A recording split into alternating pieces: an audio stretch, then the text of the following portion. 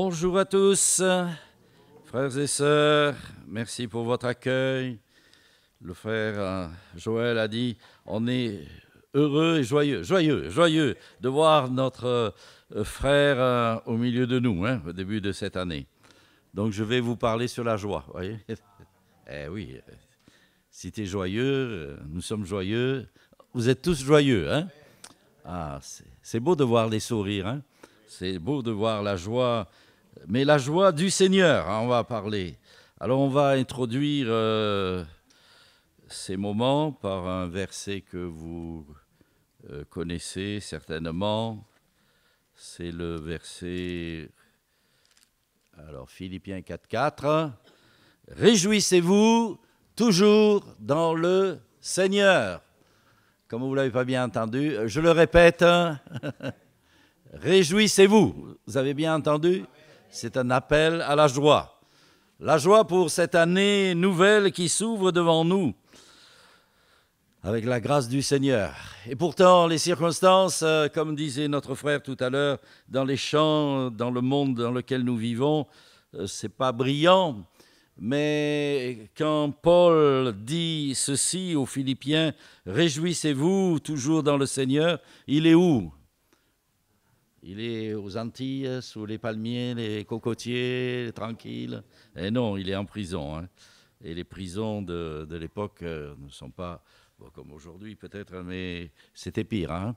voilà, ça c'était pire.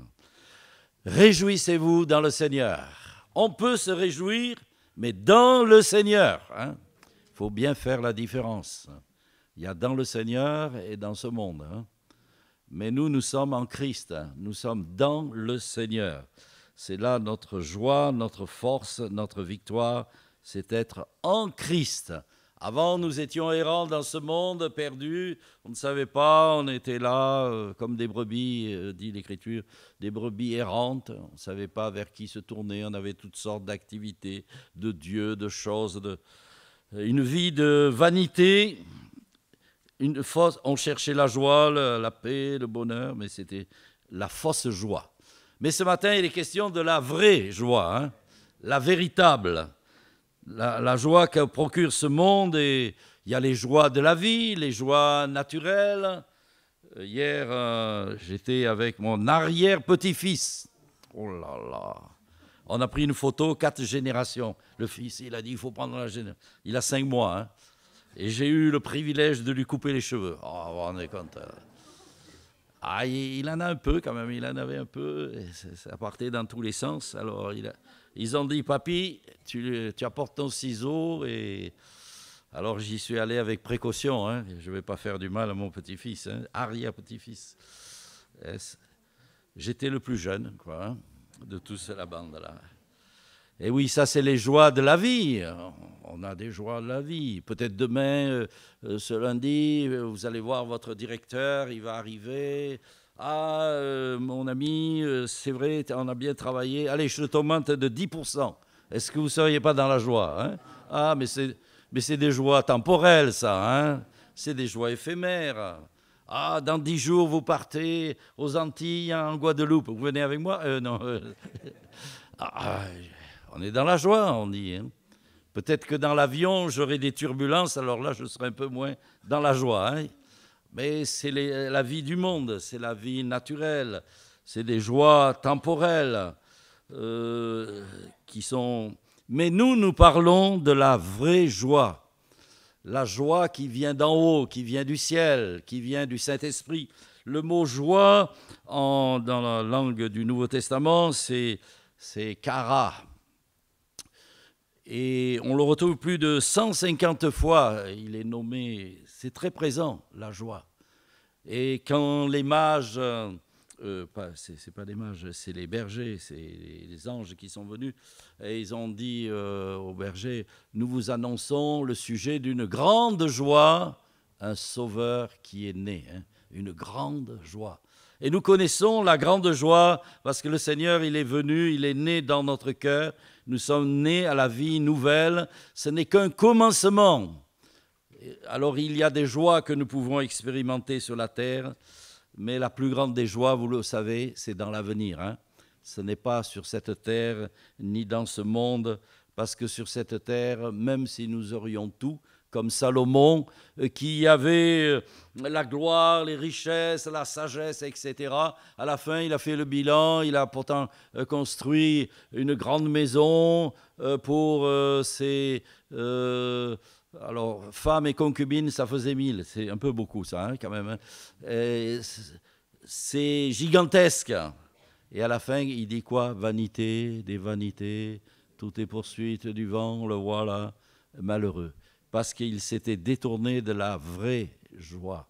Notre vraie joie, c'est d'être en Christ, d'appartenir au Seigneur, de marcher avec lui, d'être fidèle jusqu'au jour où il nous prendra avec lui dans son royaume. Mais sur la terre, nous sommes appelés à connaître la vraie joie, la joie du Seigneur. On va nous euh, lire dans Luc chapitre 10, ça va apparaître n'est-ce pas, chapitre 10. Les 70 revinrent avec joie. Vous voyez, ils étaient dans la joie. 70, et les disciples que le Seigneur avait envoyés pour aller annoncer la bonne nouvelle.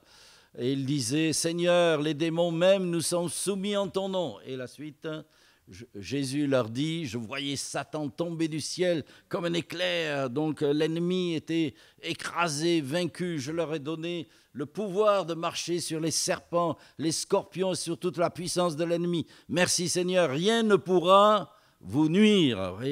il a dit cela à ses disciples. Et pour nous, qui sommes les disciples du Seigneur, nous marchons dans la même voie, dans le même sens. Nous n'avons pas à craindre, à redouter.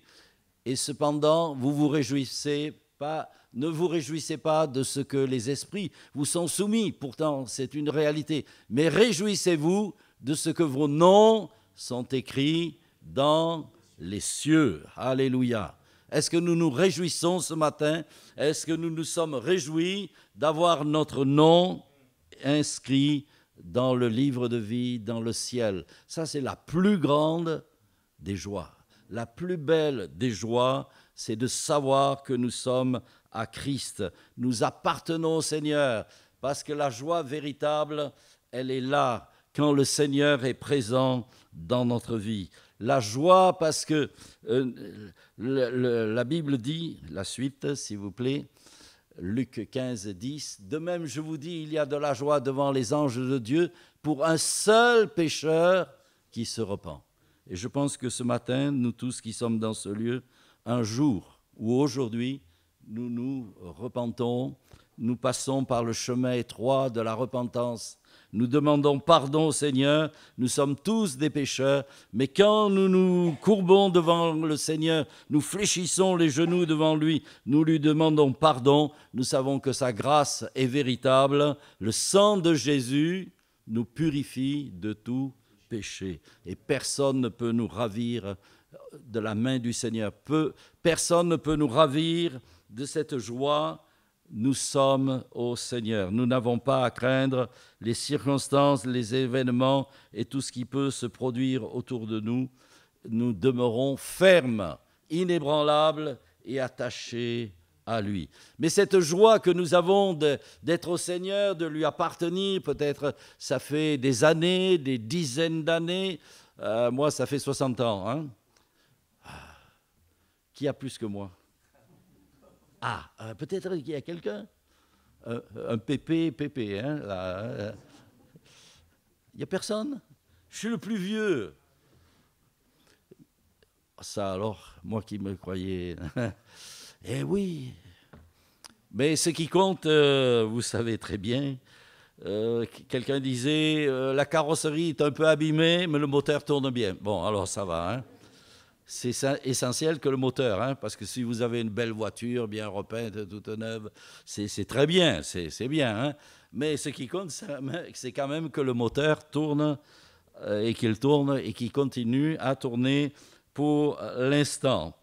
Alors, euh, mes enfants, mes enfants, vous êtes tous mes enfants, et ce qui est essentiel, c'est de demeurer fidèle jusqu'au bout. Car c'est celui qui persévérera jusqu'au bout qui sera sauvé. parce que nous sommes sauvés, comme je le dis souvent, et j'aime le répéter, à la croix, le Seigneur a tout accompli. Là, euh, le salut est parfait.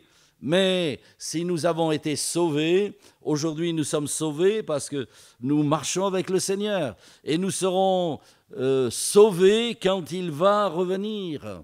Réellement, parce que c'est ce jour-là euh, que ce corps de poussière revêtira un corps de gloire vivement un corps de gloire, hein, semblable au Seigneur. Fini l'arthrose et tout ça. Euh, bon, pardon. Eh oui, j'aime un peu vous faire sourire, mais c'est la réalité, c'est la glorieuse réalité. Alors nous ne savons pas si c'est aujourd'hui, demain, après-demain, peu importe, frères et sœurs, demeurons enracinés, fondés, persévérants. C'est pas le moment euh, de regarder en arrière, c'est pas le moment de tourner à droite ou à gauche, c'est le moment de garder les yeux fixés sur le Seigneur. Levez vos yeux. Quand vous verrez toutes ces choses, disait Jésus, vous connaissez la parole, autant que moi, quand vous verrez tous ces troubles, et comme disait notre frère encore, j'ai bien aimé euh, cette parole, même si le monde est troublé, même si le monde est agité, même si le monde s'écroule, peu importe, nous sommes à Christ. Mes destinées, elles sont dans les mains du Seigneur, cette main qui a été percée pour nous à la croix du Calvaire. Et il ne faut pas sortir de cette main. Notre part, notre responsabilité, c'est de ne pas euh, quitter, abandonner. Quelle idée Abandonner ce n'est pas l'heure d'abandonner. Au contraire, c'est l'heure de renouveler ses forces, son énergie, sa spiritualité, d'engranger, de faire, j'allais dire, le plein, plein de la vie du Seigneur pour tenir bon, parce que comme nous le savons, les jours sont mauvais et peut-être ils seront encore plus mauvais, ça c'est sûr.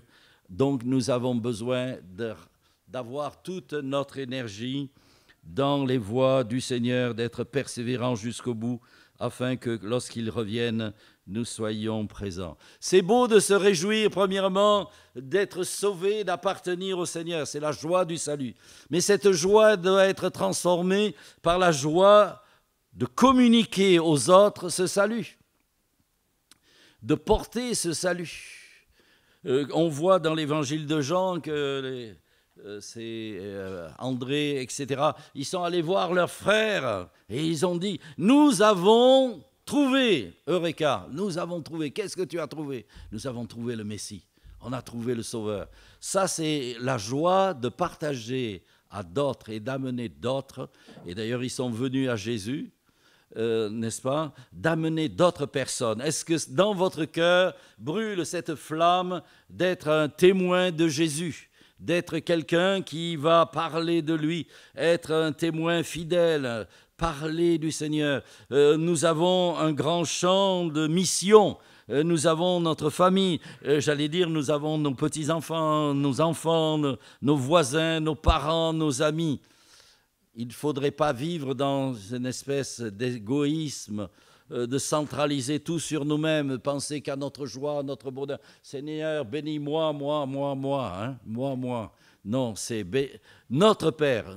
Seigneur, bénis-nous tous et bénis ceux qui ne te connaissent pas encore. Ça doit être un fardeau sur notre cœur, un sujet de prière euh, important de dire, eh bien Seigneur, dans cette ville d'Istre, dans ces quartiers, dans ces rues, dans ces voisins, peu importe, Seigneur, donne-nous d'atteindre ces personnes qui ne te connaissent pas, être des porteurs on ne peut pas se satisfaire d'être dans cette vie repliée sur soi-même, d'être des porteurs du message de l'Évangile. Nous sommes les témoins de...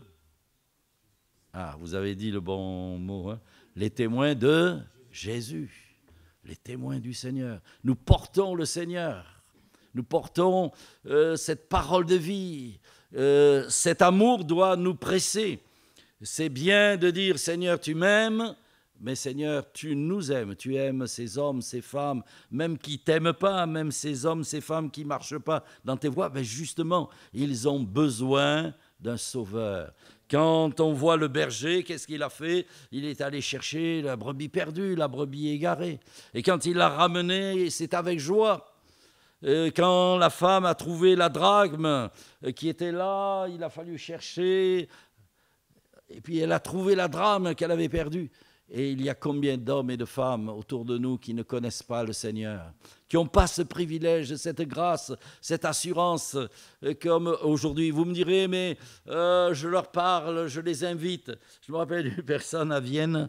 Un jour, elle me dit, oh, j'ai parlé à cette dame, mais elle est dure, elle est... Euh, elle oubliait, elle, elle a mis dix ans pour venir au Seigneur. Elle me dit, elle a raconté qu'elle avait entendu parler en Algérie que c'était à Vienne qu'elle s'était convertie. Elle avait mis dix ans du temps où elle avait été en contact avec l'Évangile pour se donner au Seigneur. Hein. Et après, elle dit, oh oui, mais les gens, ils sont durs, hein, vous savez, alors ils sont...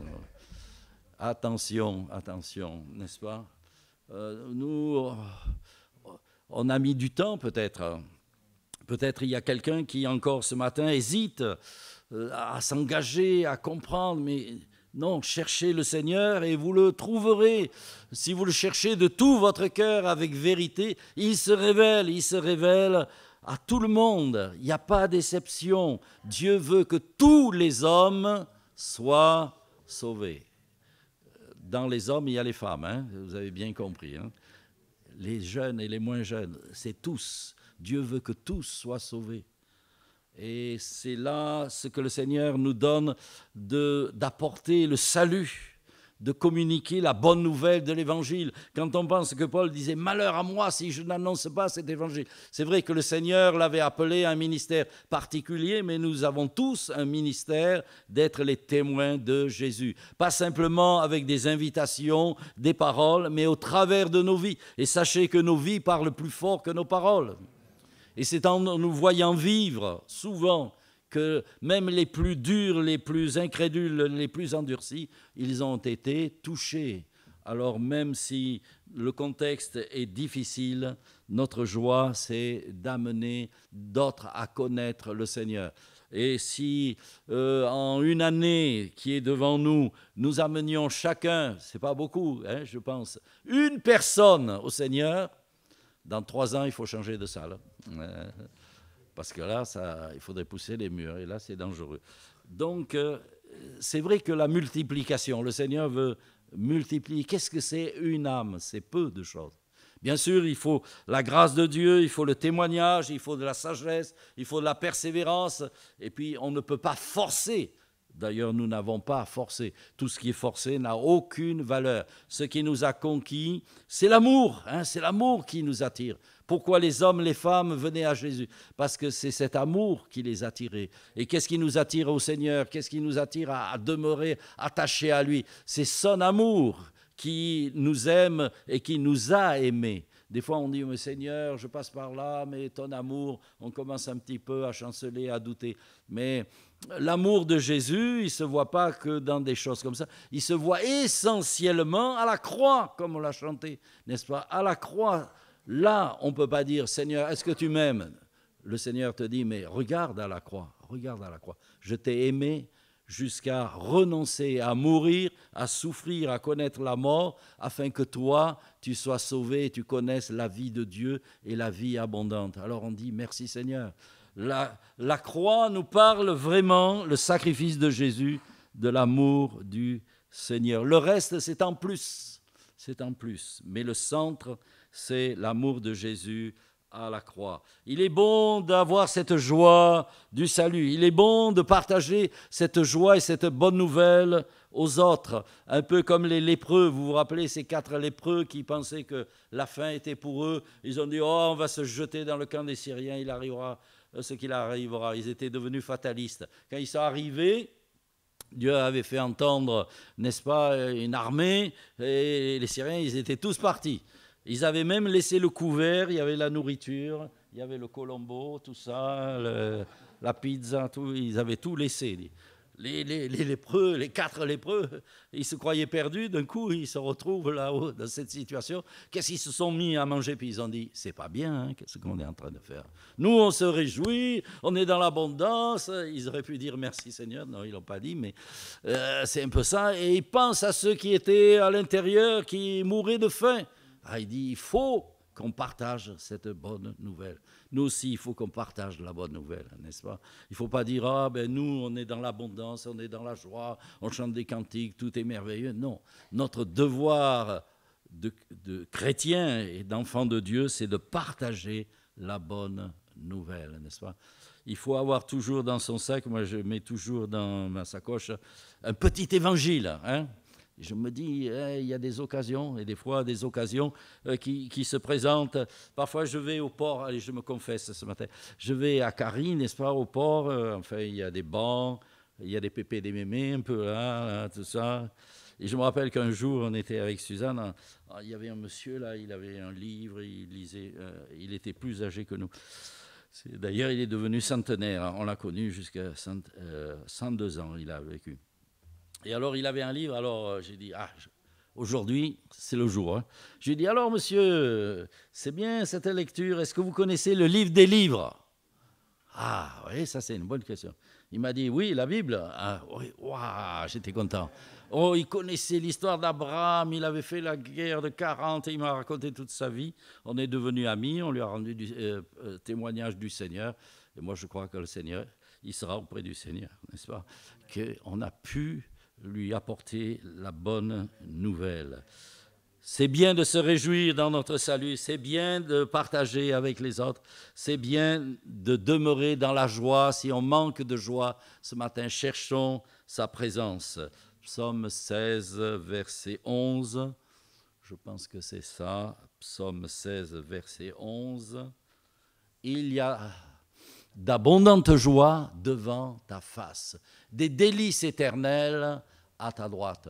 Oui, devant la face du Seigneur, il y a d'abondantes joie. Donc si nous sommes dans des situations parfois un petit peu difficiles, la tristesse reviendrait nous saisir, cherchons la face du Seigneur. Cherchons la communion avec le Seigneur. Il y a aussi le psaume 34, verset 4, 6, pardon, 34, verset 6. Il, est dit que, alors on va le voir, 34, verset 6, si je ne me trompe pas. 34, ah, verset 6. Voilà, quand on se tourne vers lui, les regards, on tourne les regards vers qui ce matin? Vers le Seigneur. On est rayonnant de joie. Parfois, on regarde autour de nous et on est rempli de tristesse. Mais il faut tourner ses regards vers le Seigneur. Il faut regarder vers Christ. Il faut regarder la croix du calvaire. Il faut regarder l'amour du Seigneur. Il faut voir ce qu'il a fait pour nous et ce qu'il prépare pour chacun d'entre nous. Et la joie va renaître dans notre cœur. Et c'est vrai que David, euh, on parle souvent de David, le bien-aimé de Dieu, mais il n'a pas marché toujours dans la voie de Dieu. Malheureusement, il a marché dans euh, certaines voies, mais malheureusement, il s'est écarté comme nous pouvons euh, nous en écarter. Et à un moment donné, il dit justement dans le psaume 51, il dit, on voit qu'il est plus dans la joie, il a perdu cette joie, n'est-ce pas? Et il dit, euh, rends-moi la joie du, salut, n'est-ce pas? Rends-moi la joie d'être avec toi. Alors s'il y a comme des nuages où on perd cette joie, euh, il est dit que l'or du sanctuaire avait perdu son éclat si nous perdons cette joie, cet éclat, parce que joie euh, vient euh, à donner aussi briller. La joie, ça fait briller, qui vient de la grâce de Dieu. Euh, tout est lié. Quand la grâce abonde, nous sommes dans la faveur de Dieu, la joie de Dieu est notre partage, et nous brillons, nous sommes des témoins dans ce monde. Et ça, c'est important d'avoir et de maintenir en nous c'est un combat, c'est une lutte de tous les jours. La vie chrétienne, c'est vrai, c'est un chemin, un combat difficile, mais la victoire, c'est de demeurer toujours devant la face du Seigneur, ne pas s'éloigner, ne pas l'abandonner, ne pas regarder en arrière, parce que euh, le psaume 84, verset 11 dit, Un jour dans tes parvis, le mieux que mille ailleurs. Une heure au culte, c'est mieux que mille ailleurs, n'est-ce pas? Une heure dans la présence du Seigneur. La joie, non seulement d'être dans sa présence, de lui appartenir, Mais maintenant, notre vie, qu'est-ce qu'elle sert? Elle sert au Seigneur, elle, elle, est à la disposition du Seigneur, nous appartenons au Seigneur, nous sommes sa propriété, il nous a rachetés, nous nous appartenons plus à nous-mêmes, propriété du Seigneur. Alors vous dites, moi je fais ce que je veux, je vis comme je veux, j'utilise mon temps comme je veux. Bien sûr, bien sûr. Mais la joie, c'est de servir le Seigneur c'est d'être euh, à la disposition du Seigneur. Et dans les petites comme dans les grandes choses. Et parfois, quand on est fidèle, dit l'Écriture, dans les petites choses, il nous en confiera de plus grandes. Peu importe. Mais ce qui compte, c'est d'être fidèle en servant le Seigneur. Quand les travailleurs, les travailleurs qui, les ouvriers, sont venus pour reconstruire les murailles de Jérusalem, quel travail hein tout le monde s'y est mis et Néhémie dira à ceux qui travaillent, la joie du Seigneur sera votre force, elle sera en somme votre zèle. Et c'est vrai que tout ce qui est fait quand on travaille pour, pour Dieu dans sa vie ou dans sa maison, dans le service des enfants, des personnes âgées, etc., eh bien, si on le fait avec joie, donc avec amour, on le fait avec zèle et il y a une récompense on n'est pas forcé, il n'y a pas d'obligation, il n'y a pas d'imposition. Vous vous souvenez de Simon de Cyrène hein? oh, Viens ici, toi. Il est tombé au mauvais moment pour lui. Il a dit Mais euh, je rentre, j'ai travaillé déjà, ma femme m'attend à la maison. Euh, non, non, viens ici. Hein. Les soldats, on, ne rigole pas avec eux. Les soldats lui disent Viens ici. Ils le forcèrent à porter la croix de Jésus. Pourquoi elle était lourde, cette croix? Parce que pour eux, c'était une obligation. Pour lui, c'était une obligation. On l'imposait. J'espère que ce n'est pas une, une, imposition, une obligation que de venir dans l'Assemblée. Non, hein. vous venez en courant. Hein. La voiture, elle connaît le chemin tout seul. Hein. Vous mettez le GPS et tout seul. C'est dans la joie. Pourquoi? Parce qu'il y a cette joie dans l'Église de ce qu'on appelle la communion fraternelle, la joie de la communion fraternelle. Je bénis le Seigneur pour cette Église, n'est-ce pas? Parce qu'il y a la joie et la communion fraternelle. Gardez toujours cette communion fraternelle, gardez toujours cette joie d'être ensemble, de cet accueil, de cette unité, être un seul cœur et une seule âme pour le Seigneur, pour le louer d'une seule voix qui monte vers lui. C'est important d'être dans l'harmonie. Hein que le Seigneur nous garde toujours dans l'harmonie, dans l'unité. Le travail de la chair et du diable, c'est euh, d'amener la zizanie, le trouble, la division. Mais ça, c'est l'œuvre mauvaise, ça, c'est l'œuvre des ténèbres. Nous gardons toujours l'unité, l'amour, et ainsi nous glorifions le, le, le nom du Seigneur. Puisque le psaume 122 nous dit, je suis, je suis quoi? Dans la joie quand on me dit allons à la maison de l'Éternel. Bien sûr, ce n'est pas les murs qui sont, mais c'est, nous la maison de l'Éternel. L'Église, c'est la maison du Seigneur. L'Église, ce n'est pas un mur, bien sûr, mais c'est nous, chacun, des pierres vivantes, assemblées les unes aux autres. Quand on a construit le temple de Jérusalem, on ne faisait que d'assembler les pierres elles étaient taillées dans la carrière, mais on les, juste on les assemblait. Et nous, on est assemblés, on a été déjà taillés, le monde nous taille, n'est-ce pas? Mais nous, nous devons nous assembler au nom du Seigneur. Je suis au milieu de vous. Amen. Son esprit est là. Et son esprit, c'est le lien de la joie, de la paix, de l'amour qui nous tient ensemble. Ainsi, nous célébrons le Seigneur dans la communion fraternelle. Et euh, un peu dire aussi que la joie, on ne la perd pas. Le péché peut nous faire perdre la joie, la désobéissance, mais l'adversité ne nous fera pas perdre la joie. On voit que les chrétiens, dans les actes des apôtres, les apôtres, on les a mis en prison parce qu'ils annonçaient le nom du Seigneur. Et eux, quand ils sont sortis, ils étaient tout tristes. Ils ont dit, bon, on va à la maison de retraite, on va se faire soigner. On, est, on abandonne. Non, non, non, non. Ils étaient tout joyeux d'avoir souffert pour le nom du Seigneur. Ils ont dit, on a été, ils ont été battus de verge, n'est-ce pas? Mais ils disaient, pour nous, le Maître a souffert pour nous beaucoup plus. Il est mort pour nous. Nous, nous sommes persécutés et peut-être dans le monde, vous le savez, et ça peut venir aussi chez nous, nous pouvons être persécutés, haïs. Ils ont haï le Maître. Ils nous haïront aussi. Ils vous haïront, dira Jésus mais la persécution, on voit que dans le monde, même des gens qui ont été terriblement persécutés, l'histoire le montre, la joie du Seigneur, intérieure, surnaturelle, divine, n'est-ce pas? La joie du Saint-Esprit de Dieu. Parce que le fruit de l'Esprit, c'est quoi? C'est l'amour, la joie, la paix. Mais moi, je pense que dans l'amour, il y a la joie, la paix. Quand on a l'amour, quand on aime le Seigneur, eh bien, tout le reste, les, grains de joie, de paix et d'amour, eh bien, sont là. C'est un ensemble. Ainsi, c'est une joie surnaturelle. Comment ils ont pu affronter, n'est-ce pas, l'adversité, euh, la mort, parce qu'ils avaient la force du Seigneur. Et le Seigneur leur a donné cette paix dans leur cœur et cette joie. Et la Bible dit, réjouissez-vous des parts, c'est dans 1 Pierre 4, 13, de la part que vous avez aux souffrances de Christ. Nous, souvent, on confond les souffrances de la vie euh, naturelle avec les souffrances pour Christ. Quand l'Écriture parle de souffrances, d'épreuves, c'est les souffrances à cause du nom du Seigneur, à cause de mon nom. Ça, c'est les bonnes souffrances, n'est-ce pas? Oui, parce que c'est souffrir pour Christ et c'est être digne du Seigneur.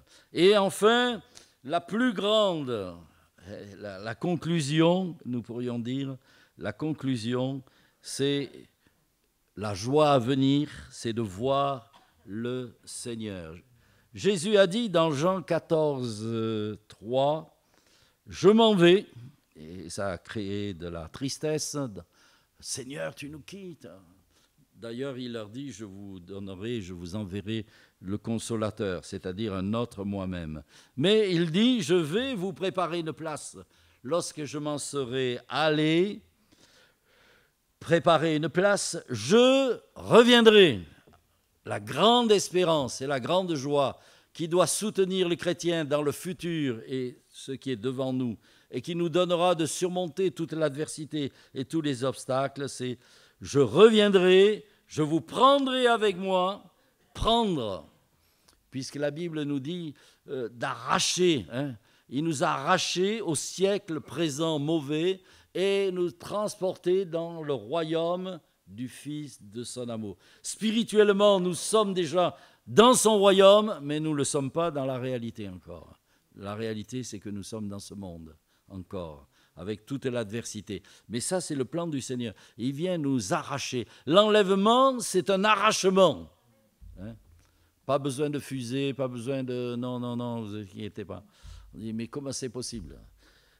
Tout est possible à Dieu. Hein comment pourrions-nous limiter le Seigneur Lui qui a créé tout le monde, qui tourne à une allure folle, n'est-ce pas Sur cette planète qui est là dans euh, l'univers en expansion, euh, quand vous y pensez, ça donne le vertige, n'est-ce pas Vous dites, ouh là là, pourvu que ça tourne bien encore. Hein. Vous voyez que si ça s'arrêtait là, euh, que ça démarre. Non, Dieu a tout fait d'une manière belle et avec sagesse et puissance.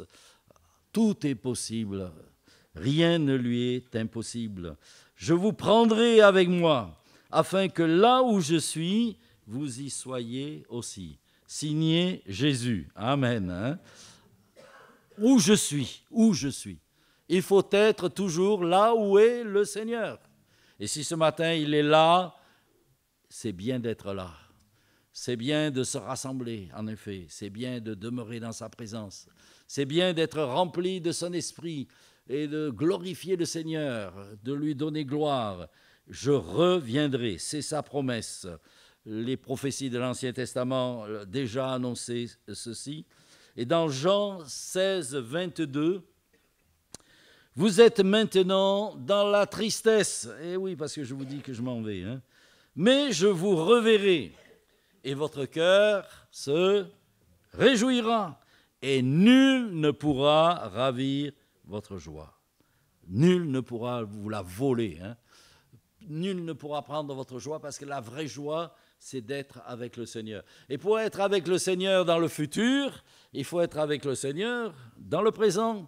Il faut être avec le Seigneur tous les jours parce que nous ne savons pas, d'ailleurs Jésus l'a dit, nous, même lui, il dit, euh, on ne connaît pas euh, ni le jour, ni l'heure, ni la minute, ni la seconde, mais ce qui est important, c'est de demeurer. Puisque selon la parole de Dieu et la promesse de Dieu dans Hébreu 9, 28, il est dit, il apparaîtra une seconde fois. Il est apparu une fois, c'est l'incarnation, c'est l'œuvre du salut, c'est la croix. Hein. Mais il est parti, il reviendra à ceux qui l'attendent pour leur salut. Et c'est là qu'il transformera votre corps d'humiliation en un corps de gloire. Et Romains 8, 23 dit, en attendant l'adoption, c'est-à-dire nous sommes enfants de Dieu, mais nous avons d'être faits enfants de Dieu, l'adoption, la rédemption de notre corps. Et Thessaloniciens le dit encore, il y a bien des passages, je ne vais pas tous les, vous les citer ce matin, mais nous les vivants qui serons restés, nous serons tous ensemble enlevés avec eux sur des nuées à la rencontre du Seigneur dans les airs et nous serons avec le Seigneur pour toujours.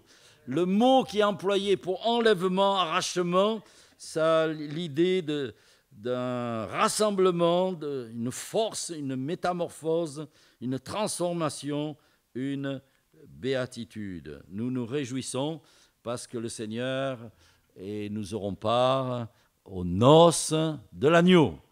Vous avez eu des noces, vous avez de belles noces, hein, mais la plus belle, c'est les noces de l'agneau. Hein.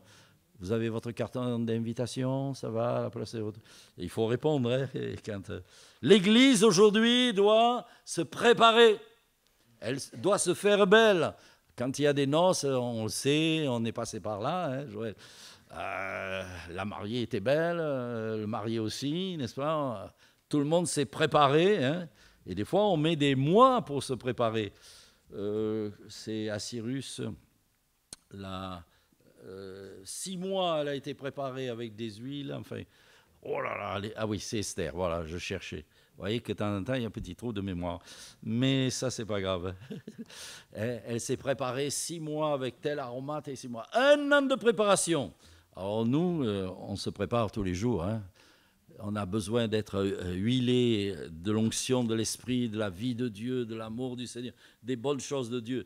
Parce que euh, l'Écriture nous montre que cette Église, elle s'est préparée. Elle sera, parce qu'il la veut glorieuse. Il la veut sainte, il la veut sans ride, hein. il la veut conforme à lui. C'est normal. Quand Adam a vu Ève, il a dit, elle est euh, celle qui est os de mes os, chair de ma chair. Elle est semblable à moi. Et il faut que quand le Christ viendra, il puisse dire, mon Église, elle est semblable à moi. Et c'est à cela que le Saint-Esprit travaille, de nous rendre semblables à lui. Alors j'aimerais vous dire, c'est son œuvre, hein. c'est pas vous. Hein. À nous, euh, on n'est pas capable, la chair. Mais c'est laissons le Seigneur nous transformer. Vous savez, euh, souvent, l'œuvre de Dieu, c'est pas peut-être d'agir, mais de laisser le Seigneur travailler dans notre vie. Ne soyons pas des vases rebelles, des vases insoumis, mais laissons-nous modeler, travailler. Hein. Laissons-nous euh, travailler à l'image du Seigneur. Alors il a commencé, et on finit par cela, il a commencé le Seigneur, la bonne œuvre, le jour où nous sommes donnés à lui. Alors il la continue. Hein. Il y a encore un peu de travail. On, pourrait mettre l'Église en chantier. Hein. Mais un jour, on verra, c'est fini. l'Église, elle sera conforme au dessein de Dieu. Alors ce matin, le dessein de Dieu, c'est que nous soyons sauvés, que nous partagions ce salut, que nous travaillons pour lui, que nous demeurons devant sa face dans la communion fraternelle et que nous attendions le grand jour. La trompette va sonner. Ah, ce jour-là, il n'y a que ceux qui sont au Seigneur qui entendront. Hein. Si aujourd'hui nous n'entendons pas la voix du Seigneur, le berger qui nous parle, comment nous entendrons quand la trompette va sonner hein? C'est pareil cela. Hein? Et c'est la même chose. Aujourd'hui, j'ai besoin que la voix du Seigneur résonne dans mon cœur et me montre tout le chemin, l'œuvre, le, le, travail, le témoignage. Si aujourd'hui j'entends la voix du Seigneur parler à mon cœur, alors quand il va revenir, j'entendrai la trompette qui donnera le signal pour être avec lui et pour toujours. Que le Seigneur soit béni. Amen. Merci notre Seigneur, notre Dieu, notre bon Maître et Père céleste, merci parce que ce matin nous avons cette joie, cette grande joie, cette liberté de nous réunir sous ton saint regard, d'être ensemble. Et il est béni cette communion fraternelle euh, tu dis qu'il est doux et agréable pour des frères de demeurer ensemble. C'est là que tu envoies, tu envoies la vie, tu envoies la bénédiction, tu envoies, Seigneur, ta grâce.